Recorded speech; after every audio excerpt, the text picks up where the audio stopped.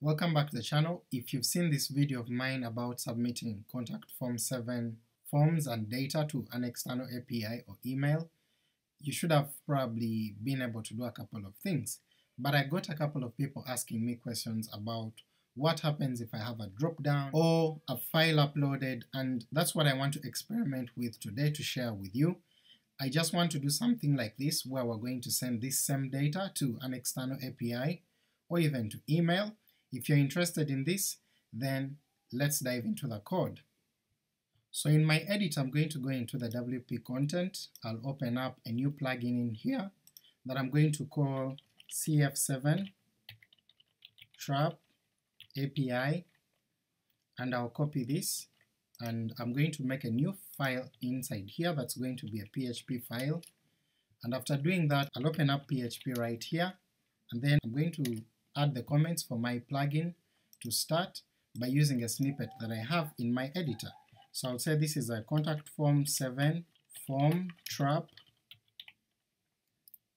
just need to correct this right here, and then I'll change the plugin link to my GitHub where I'm going to save all of this, so github.com slash. And you can be able to find this particular code on this GitHub link that we have here so that you can be able to check out the code and see if there's anything that we left out or you feel like you need to just check out the code and use it as you want. This will be in the video description in any case that you can pick it up. So right here I'm going to change this to TechiePress, get contact form 7 data and send to API. So I'll, I'll, I'll just change this I'll give this a GPL license so that you can pick it up without any trouble, and then I'll just add a text domain which I'm going to use as, as my plugin right up here. So the first thing that I'll do is I'll define, do some security measures, and I'm going to say if that is not fulfilled then we should die, and what we want to fulfill here is that we want to check if the abs path has been used, which is basically a WordPress constant that is used when these particular plugins are run. And if that's not positive in terms of check, I'm going to say unauthorized access, and that will stop the code from running, and the hacker will be left standing without thinking of anything. So the first thing that I will do here is I'm going to add an action, and inside here it requires about four things, but one it requires the hook ID, or the name of the hook, then you have a function here that you're going to run. I prefer not to do anonymous functions, so I'll say TechiePress contact form 7 data, and after this you can have things like priorities, and then you can also have the number of arguments you're passing in, maybe there are two or three, or it's just one. So for now I'm just going to leave this here, and I'll add this semicolon right here. So the hook that we're going to use is WPCF7 mail sent, and this one is going to check for whether the mail has been sent, and then it will pass the data in here into this function. So let's write this function, I'll add it there, I'll add the name to it, and I'll add these brackets right here. And the one thing that we get from this hook is actually we get the contact form, so I can check the contact underscore form, that's what I'll have here, and then I'm going to use this to check for the form's title to see if I'm actually running the right form. This should not be happening on every form, it should be happening on the right form, and then we can do the rest of the code right here. So let me go back to my WordPress install and I'm going to set up my form. We'll be able to see what data is coming in from here and save it right here. So if you don't want to see me set up the form, you can skip that particular section by checking in the description you will see that there are video chapters, so you can go to the next part that says we are coding and we have skipped the whole process of making up the form. So otherwise if you want to see me create the form, let's continue with the video. So I've activated my contact form 7 here and I'm going to create a new form and in here I'm going to call it web API and inside here I'm just going to delete all these fields that we have here and I'm going to start afresh. So we want to have a text which is going to be required, and it will be a name, so we can have a placeholder right here. It will not have a default value, no classes, I'm not going to style it. After adding our text, we want to have an email, I'll make that also required.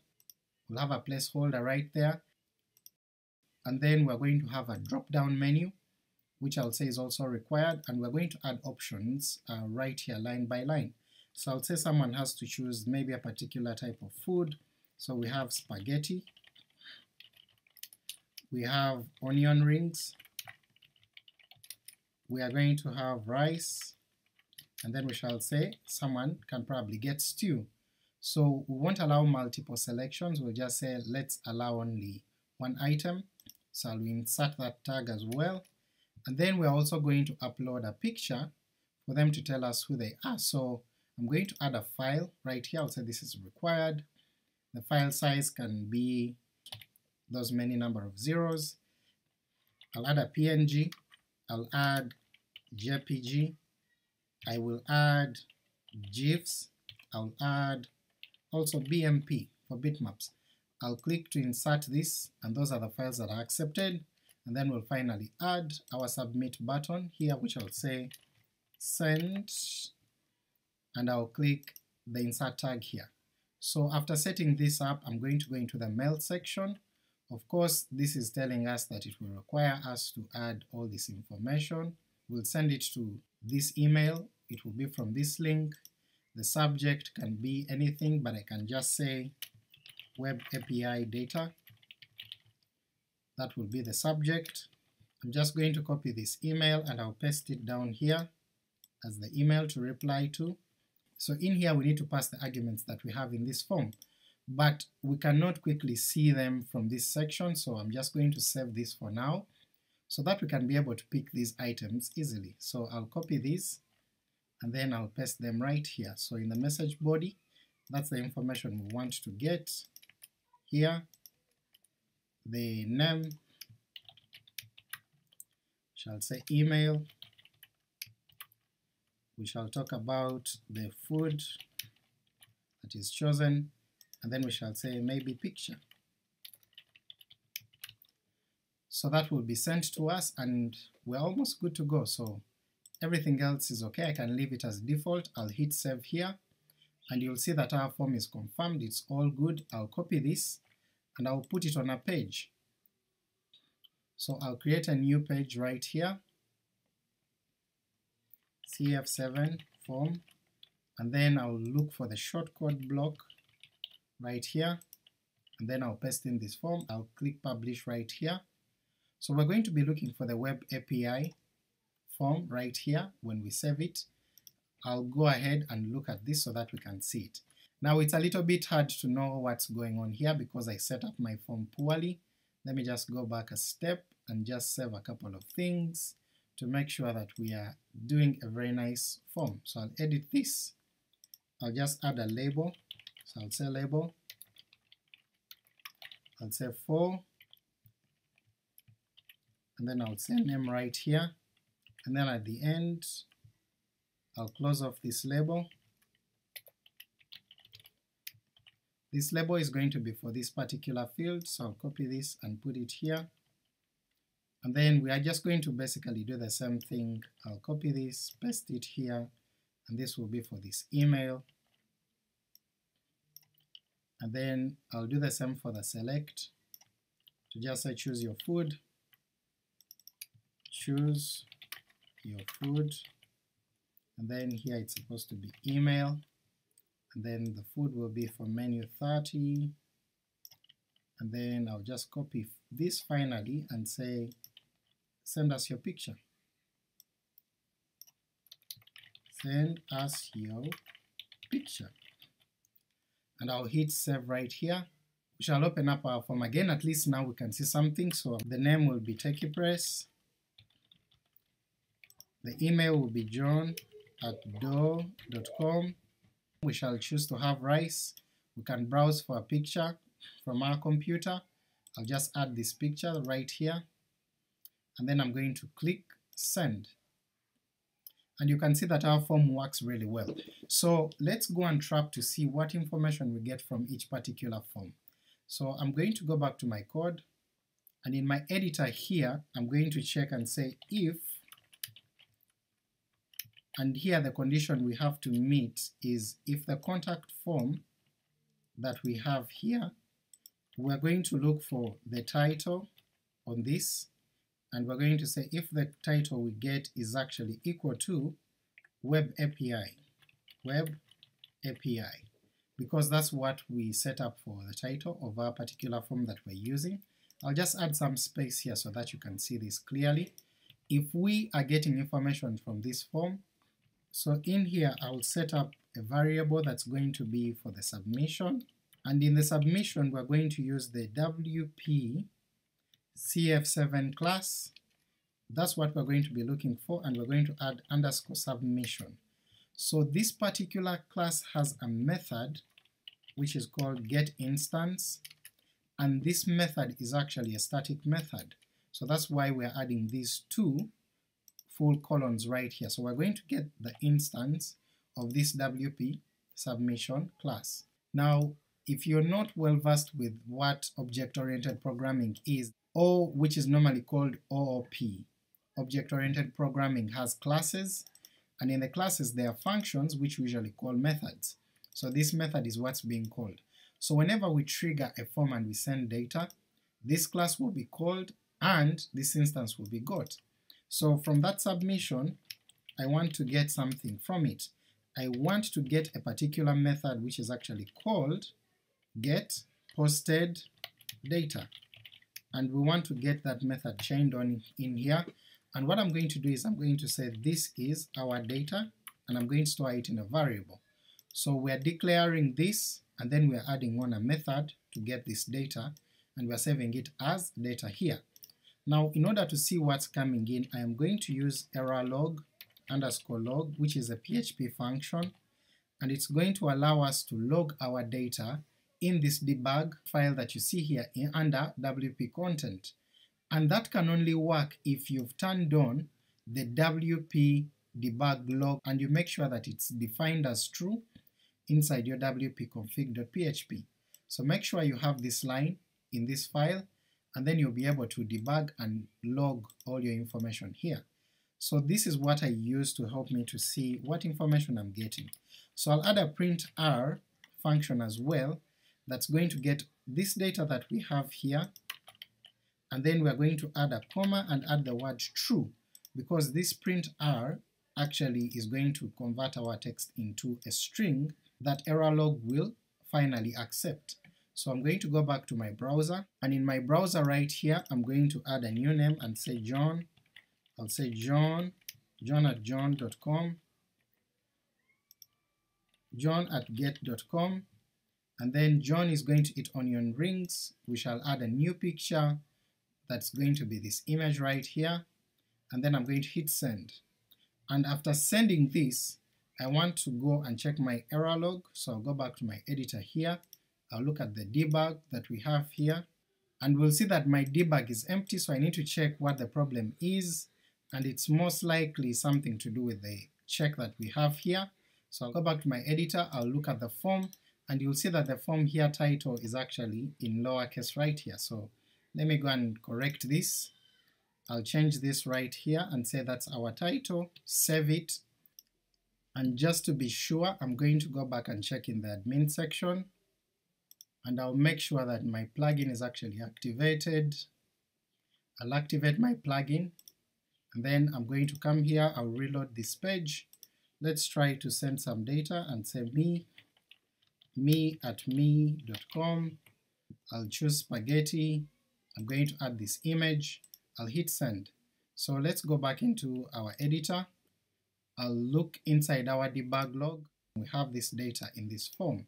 Now fortunately this is a text, this is an email, this is an array of data so we get what was chosen, and then we get this file that has this encoded string.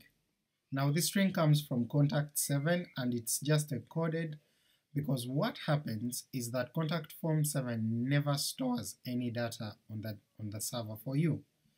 All it does is that it gets that information, attaches it to an email, and sends it out. So once it's sent out that attachment, it will always destroy it or it will always erase it from its code. What do I mean by that? If we go back to our code here, I'm going to introduce something that's a little bit different.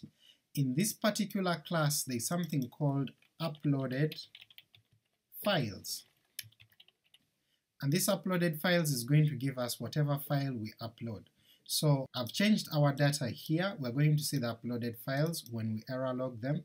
So I'm going to save this, I'll come back to my front end here, I'm going to just do another ping and say me at me mem.com will choose to have rice, onion rings, and I'll add a new screenshot that I have, and I'm going to send it. And once I do that, you'll check that our debug log is actually going to have quite a number of things. Ignore my errors that I'm having here. You'll see that this array that we have now actually has a file path here, and it takes us to WPCF7 uploads, and we see that this is happening here, and we have the name of this particular file. And if I come here in this plugin itself, if I go into my uploads here, and then I look at this, you'll see that we don't have that file there. Or if we look in our uploads in 2021 07, you'll see that those particular files actually don't exist in our uploads. Now that sort of puts us off, because we can't get the file, we can't do anything, but I have a little trick that you can use. There is a plugin add-on that you can actually use and it stores this data when you send it. And that plugin is actually something that we can come in our plugin section, go to add new, we shall look for contact form 7, and we're going to install this contact form 7 database add-on. And what this plugin does is that it creates a database table inside our database. So I'm going to open up my database tools, and you're going to see that database table. And right now you'll see that we don't have any WPC7 database table in here, but once I come to my plugins here and activate this, on activation you're actually going to come back to our database tools and you'll see that we have a new table here called WPDB7 forms, and right now we don't have anything here. But if I come and then add a name, I'll add my email, and then I'm going to do maybe rice or stew, I'll choose to have this image coming in here, and then I'll click send. This particular tool is going to allow us in here to see that we have forms, and when I click on that form you'll be able to see the email that I sent, you'll see the name that I used, you'll see the stew, you'll see the date this was sent, and you'll see a file that actually is attached to this. Now this file is actually downloadable because it has been stored inside our database, and if I go back to my editor and just look inside uploads, I go to CFDB7 uploads, you'll see that we have this file in here, it's local and part of our site. So with this we can actually be able to send that information to our API. So instead of tapping contact form 7, we are going to tap this particular plugin. When it has saved this data, we can actually pick this data and send it to our own API, because that data will be saved. So I'm going to just look inside the code of this plugin and we'll see whether we have some action hooks that we can actually pick. So here we have the function that creates the table, we have the function on activate which basically creates our table, we have the function that upgrades our table, and then we have a function to deactivate, and if I scroll you'll see this function that says before send email and you'll see that we have our files here uploaded. We store a variable in here and it's the link to the upload folder, and once we actually submit our form, we got we get all that information coming in, we save a few filters, and then in here we actually make a copy of that file and then save it inside our upload folder, and that's what this plugin is actually doing. So if I scroll down, you'll actually see that we have a do action here called CFDB7 before save, and it comes with the form data that is actually available for us to use. So I'm going to use this do action, I'll copy this right here, and it's what I'm going to use to get my data and send it to the API. So we're going to have a couple of changes coming in here, and then I'm going to change the action hook to this. I know we shall be getting our data from here, so I'll get from data, and I'm going to change it to this location here. I'm going to just comment everything out here, and then I'm just going to error log our form data when we get it. So I'll copy this and then I'll paste it right here. So we are now basing all our code on the new extension plugin that we've added. So I'll close this up, I'm going to clean out my debug so that we have a clean start, and then I'm going to go and send some new files. So this time I'll say the police is sending police at police.com. I'll change this to stew. I'll add a new file with this, click open, I'll send this. Our form is cleared. Once we come to the database here and select the data, you'll see that in the first instance we had this form that was sent. We now have another form that has been sent with our police data, that is actually serialized right here. So I'm going to go back to my forms as well and just look at the contact forms, and you'll see that we have this data showing up here. And if I go to my editor, you'll actually see that we have our data here. We have this string of data that actually goes inside our uploads. So I'll go to uploads, I'll go to CFDB7, and you'll see that we have a similar file with the name L logo with gold, and this is what we have here. So this makes it very easy for us to actually manipulate and send to our API. So I'll just get the link or the URL that takes us to this file folder, and then I'm going to patch it and add on this extra string coming from this particular file. So this is what we're going to use, so I'm going to copy this, I'll reduce this down here, and I'm going to paste everything that we have here, so that we can quickly follow through and be able to make our changes. And then number two, I'm going to just go back to this form, I'm going to pick this code that they use to make this variable, which is basically the upload directory, and get this. I'm going to come back here and I'll say this is, I'll paste this and I'll say the upload directory is actually just going to be what we have here. So we have this cfdb name, and that is brilliant. So we'll just get what we have here, and we're going to attach it to this, and we shall be able to get the link of our files. So all I need to do is just get what we have here and then paste it here. Now in order to get our data here, we're just going to say we'll get the form data, and I'm going to pass this in as an array, so we'll have an array here, and inside this array I'll say we're going to have our name, so name is here, I'll chain it to our form data, and then I'm going to pass in this value, so I'll just copy this, put it here, and then enclose it in quotes, add the semicolon, I'll duplicate this, we just need to get this, we need to get the email as well, copy this, paste email here. This semicolon won't work in our array, we just need to pass a comma, and then I'll make this as email, and then I'll duplicate this to get our menu. So copy this, change it here, and then we'll get our food and the only difference is that this array comes only with one option, so we need to get this bracket and the zero as well to give us our food. We don't want to get the array, we want to get this final string that comes from the first entry in our array. And then finally I'm going to get the upload, and this upload is basically going to be what we have here.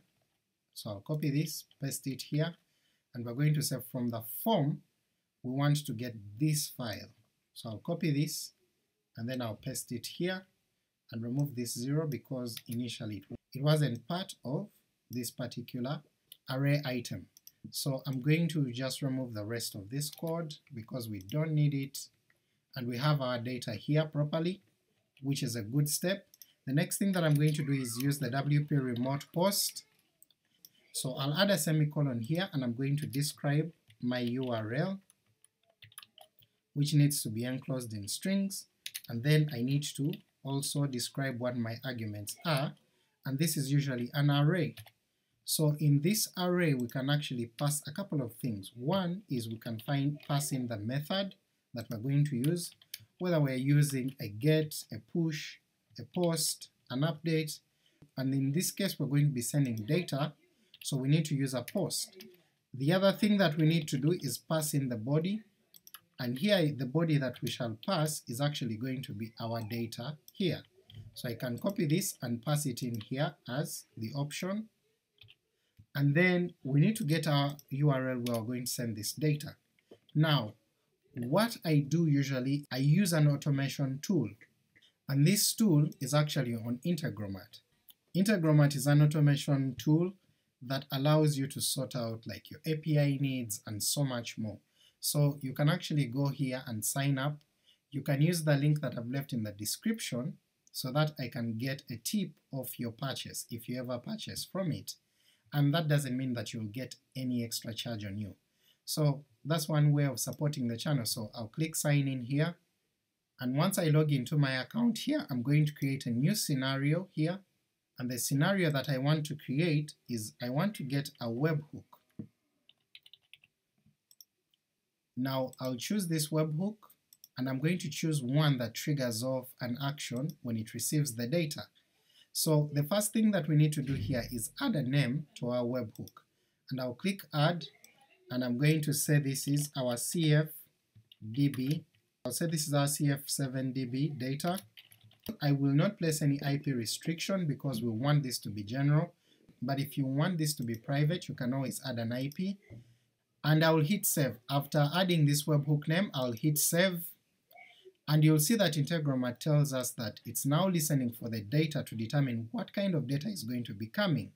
So I'll need to just copy what we have here, so I'll copy that address, and then I'm going to come to my editor here and I'll put that address inside my code, and I'll save this, and what I'm going to do now is just come back here, I'll make a new post, I'll say this is someone who is probably an employee somewhere, they're ordering for stew, they have put in their picture here, and then they are hitting send.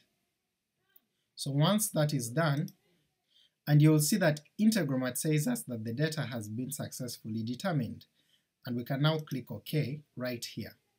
And you'll see that it refreshes the data. I'm going to add a new module here, which will be a JSON module. I just want to see my data in JSON format, and I will choose to aggregate that data in JSON. Now I create a link amongst these two modules, and you'll see that this quickly picks this as the source module, so it's basically picking the data from it. And now we need to add a data structure here, and I'll say my data structure will be cf7 da data structure. I will now click add item here, and you're going to see that we expected to have a name, which would be a text. I'll say this is required, I'll add that. I'll add another item, which was our email, and that needs to be a text as well, I'll add it as required. I'm now going to add our food, the food is also a text required, I'll add that, and then we're also going to have an upload or a file. I'll say this is image, and this image is also going to be a text because it's a long string. So I'll choose a text and I'll say that's required as well and add. So once we do that, I'll hit save here, and you'll see that this creates a new open dialog box so that we can actually pick information from our webhook. So here I can pass in the name, here I can pass in the email, here I can pass in the food, and right here I can pass in our upload. So I'll click OK here, and you'll actually see that this is going to work out. So I'm going to click this to run, and now that this is running, let's go back here and do some more changes. So I'll say john at dough.com. That should be our email, so I'll cut this and put it in the email. I'll say this is John Doe, I'll say John Doe likes stew, and John Doe is going to send an image from here, and then we'll click send. And once we do that, our Integromat here has run that operation. You'll see that we received all this data showing up here. We need to make the correct link for this URL, but we can also click this and now you'll see that we have our data in here and everything is working as it should actually look. So this is how you send data to an API, you can be able to do so many things from this point. You can use Integromat to send to emails, to send to various servers, to do different things, and that's how automation tools actually help you. But you can see that that's how we can send data from our web form and actually send it out. So the only thing that I need to do is change what we have here. So I'm going to change this to the home URL, and inside our home URL I'm going to pass a couple of things in here. So what I'll say is when we come to our home URL, let's go to the WP content, we'll do a slash, and we're going to go inside our uploads, and then inside the uploads we're going to go to this particular file, so I'll change this right here, and then we'll have a slash here. So we know that we are going to the right URL, I'm going to remove this because we don't need it anymore, and we shall use our upload directory actually right here. So we shall be getting this, and we are going to chain on the name of this file. So I'll save this, let's actually go and test this out and see that it works. So I'll come back here, I'll say let's have Kylie.